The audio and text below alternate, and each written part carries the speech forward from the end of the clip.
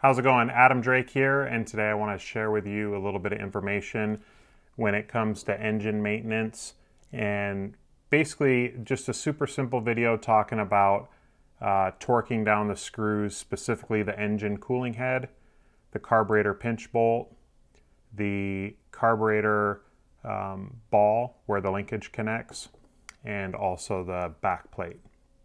So we'll start with the cooling head we get in a lot of engines to service and a lot of times the cooling head and also sometimes with the back plate these screws will be cranked down super super tight. And obviously you don't want to have your cooling head fall off but I've been racing a long time and I've never seen a racer ever have the cooling head fall off. Maybe come loose or maybe break a fin off but never fall off. So I will put in the comments the specs that are recommended from OS for the cooling head and also the back plate. If you have an actual torque wrench, you can use those um, specific specifications. But obviously, the screws need to be secured, they need to be tight and make sure that they're able to run for hours on end and, and not come loose.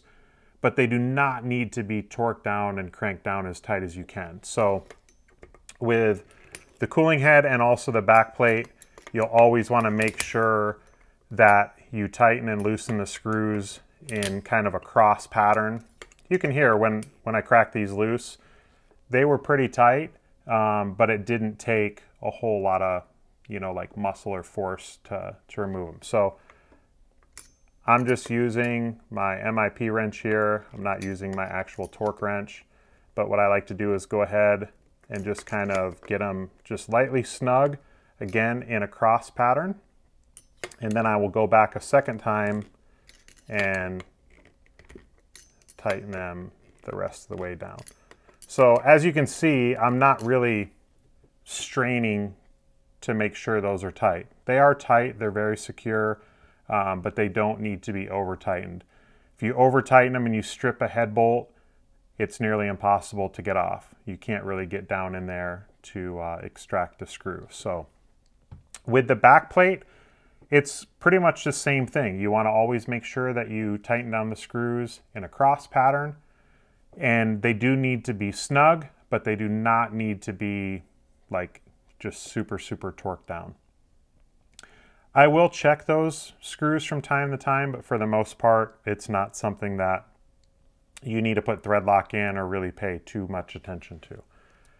As far as the ball that the linkage connects to, when it's new, I always like to take and clean the screw and put a drop of thread lock on there. Make sure I have the proper angle and orientation so that my linkage is straight. And then I will tighten that screw down pretty tight. But again, it doesn't have to really be cranked down. Sometimes you can tighten this set screw down so tight that it'll actually pinch or kind of like crush the end of the slide and then it'll make it a little bit more difficult to adjust the low speed needle. So again, needs to be snug. It needs to kind of dig into the end of the slide, but um, not, not crazy tight. And then the last thing will be the pinch bolt. Now, this is something that does need to be checked a little more frequent. I also like to use uh, a drop of thread lock when everything's new. I'll go ahead and clean the pinch bolt, the threaded side, and I'll also clean the screw. Put a drop of thread lock, make sure I line up the carburetor, have the proper orientation, and then I will tighten down um, that screw. But from time to time when I'm servicing my car, it's not something that you need to do necessarily like every race day, but I will go and just check like just to make sure. Again, don't have to really crank it down. That's tightening two pieces that basically pinch and clamp the carburetor, the thermal insulator, uh, which is plastic, so it kind of digs in a little bit. Hopefully this will help you have more consistent running and also better finishes in those long main events.